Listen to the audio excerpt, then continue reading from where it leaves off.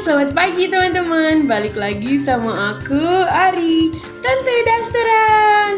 Dan kalian tahu nggak hari ini aku mau minum apa? Ini aku dikasih sama neneknya Keola. Ini namanya Keola Teh Jadi ponakan aku, Ones, adiknya, eh kakaknya Tania Itu kan nikah sama Tata. Lalu anaknya namanya Keola. Nah ini neneknya Keola dari mamanya Kiola yang buat terus aku dikasih ini.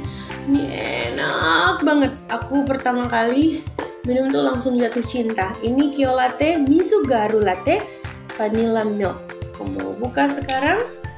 Dan aku mau tuangkan ke dalam gelas dengan es batu ini.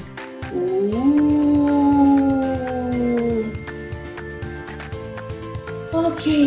ini cocok banget buat buka puasa ya seger-seger gitu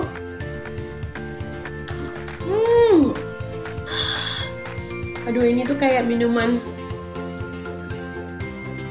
yang kita biasa beli di tempat boba-boba gitu. Ini tuh lebih sehat karena uh, buatan rumah.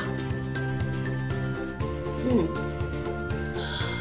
dan aku waktu itu juga nyobain yang rasa kedua ini Misugaru Latte Choco Milk. Ini juga nggak kalah enaknya ya.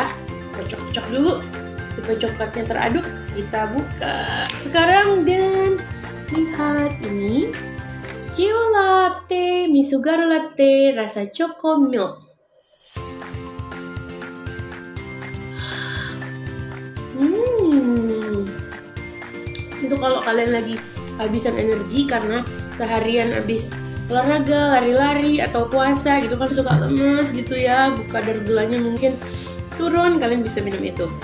Dan setelah nyobain yang dua itu, aku akhirnya pesen lagi. Ini ada rasa green tea, green tea milk, lalu satu lagi ada rasa mocha milk. Dan aku nggak tahan untuk nyobain semuanya. Oke, kita aduk-aduk aduk, kocok kocok kocok. Cobain yang green tea ya. Ini pertama kali aku minum yang green tea. Hmm.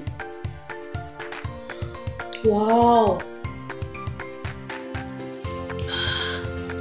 rasa green tea-nya tuh beda ya kayak lebih segar, lebih green tea gitu. Coba kita lihat ingredientsnya ada quinoa, sesame, barley, black rice, brown rice, soybean. Wow, banyak banget ingredientsnya.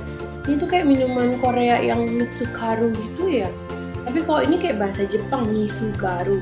Dan aku pernah minum yang mitsukaru ala Korea gitu, Korean superfood drink with 100% natural ingredients, healthy and beauty drink.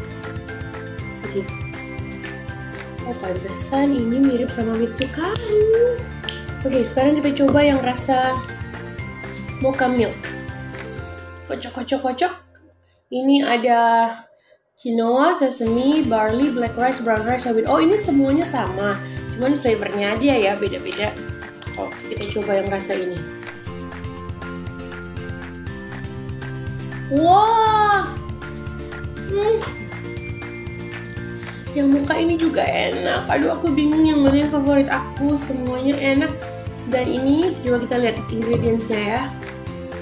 Quinoa, sesame, barley, black rice, brown rice, soybean. Oh, benar sama.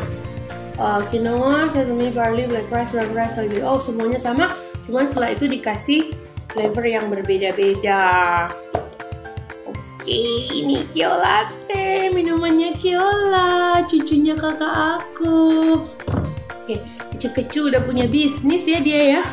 Di belakangnya nih, aku mau lihat ada tulisan apa? Benefit minuman Misugaru, kaya akan antioksidan, kaya akan vitamin E untuk kecantikan dan kesehatan kulit. Buat aku yang udah hampir 45 tahun, kayak ini aku harus minum setiap hari. Hah, ini bisa menurunkan kolesterol juga menurunkan berat badan ya tapi kalau habis minum ini terus makannya nasi dua piring juga nggak nurun ya harus diimbangi dengan diet dan olahraga dan meningkatkan imun wow oke okay. aku udah cobain semuanya dan pilihan aku yang favorit aku itu adalah Dadadadun. Aku tetap suka ini. Tataran, taran Yang rasa vanilla milk aku suka banget. Terus yang ini rasa yang aku paling suka favorit ya.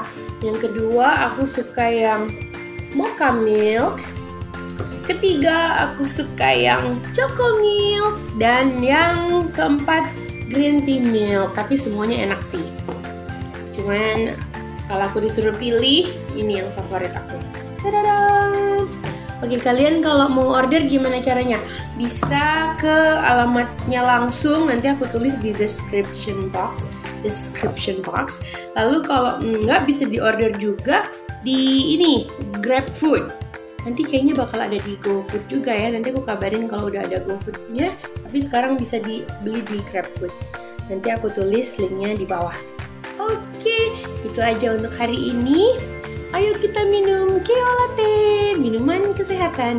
Misu Garu. Dah.